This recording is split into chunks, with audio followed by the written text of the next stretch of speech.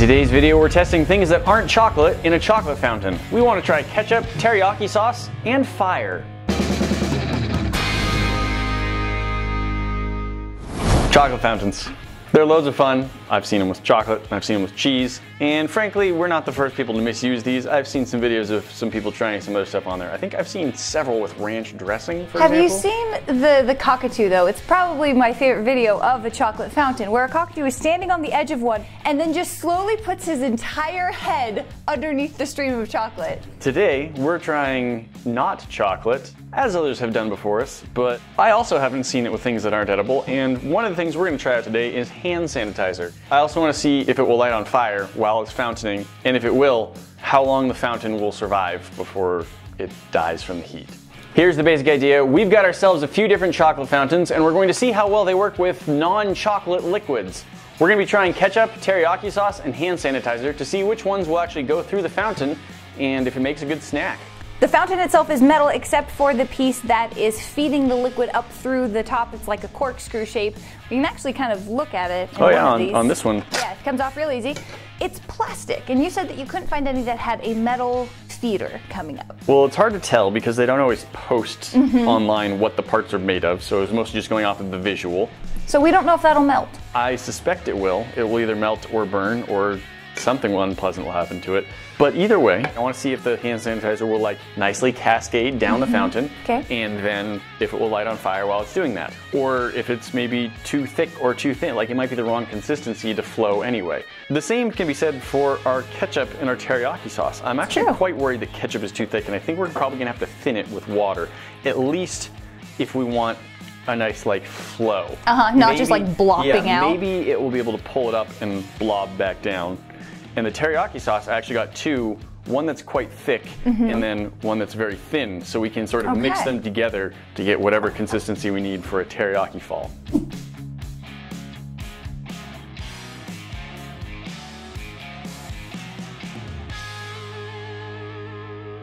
All right, well, I'll try. It's just pouring it up though, so Yeah. You start from the top. Well, okay. Yeah, never mind.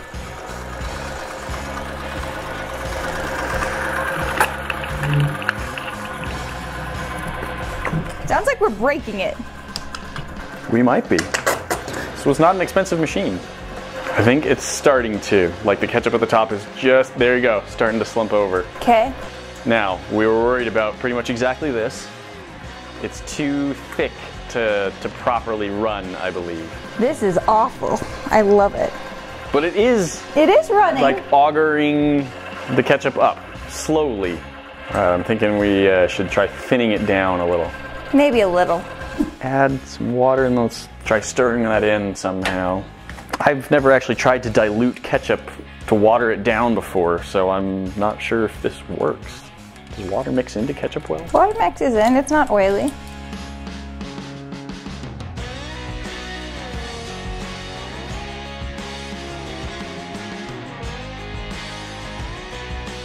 We go. Yeah. So it needs quite a bit of dilution, ketchup does. Fountaining ketchup with water in it. Runny ketchup. All right, I suggest we add all the thin ones and then slowly add the thickening. Yep, yep. Start the other direction this time. Yep. Smells great. Teriyaki. So just like this, I want to see if the liquid gets Yeah. anywhere. So yeah, we can see it gets pulled about half an inch up, and then because there's gaps between the auger and the sides of the plastic, it doesn't go any higher than that. So we actually do need some level of thickness, but as we've seen with the ketchup, we can definitely have too much. Teriyaki fountain's too thin, the ketchup's too thick, but the fire fountain's gonna be just right. No matter what, it's gonna be perfect. Okay, we can see it climbing, climbing. Will it make it all the way? I don't know yet. Oh, it's up to here. I bet it makes it out. Oh, it's at the top. Wow. The anticipation is killing me. Maybe just a little more. I wonder if the weight helps push it.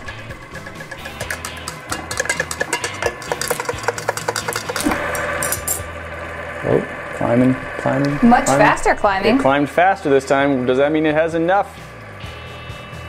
You can do it. Come on. Yeah, yeah. a little bit of spill, a little bit. I think we need more, honestly. Just more total liquid. Yes. I think so.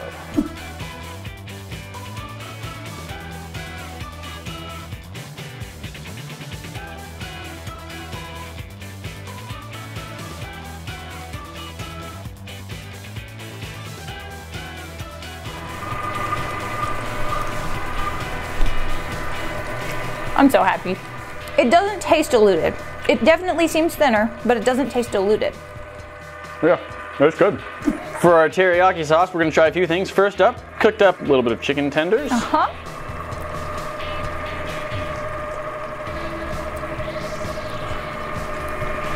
Mm-hmm. That is excellent. And uh, definitely a fancier way to add teriyaki to your chicken than just dipping it into a bowl I am a huge fan of this. like a like a peasant. Where's your teriyaki fountain, peasant? You go for some teriyaki broccoli. Teriyaki broccoli. Terra broccoli. Now, I'm actually a There it fan is, of celery, but I don't know if celery is good with teriyaki. Hmm. Okay. Well, the ketchup worked okay. The teriyaki worked great. Now it's time to try hand sanitizer. This is basically a gelled version of ethyl alcohol. So I've got some in a bowl. I'm just gonna add a little bit more in here. There we go. Just turn the motor on. Oh no. Heyo! Woo! Oh, it worked so well! A gel fountain. Guys, imagine just going into your office space and just be like, oh yeah, sanitize your hands on the way in. Yep, you should just keep this in the foyer of whatever business, and and all the guests who come in can just like just grab a little, uh, just just sanitizer up, grab a little blob of it. Guys, we've done an entire video on what's called the Kaye effect. It's when a non-Newtonian liquid is shear thinning, meaning when it's under more pressure, it gets less viscous or thinner. And what can happen is as some liquid falls on more liquid, the liquid that it's hitting Bounce like the impact point, yeah, it gets so thin and runny that it can actually sort of bounce off of itself. And we're actually getting a little bit of that effect in some spots where it drips down. And so we've had some of the alcohol just shoot off. It, it, did it again.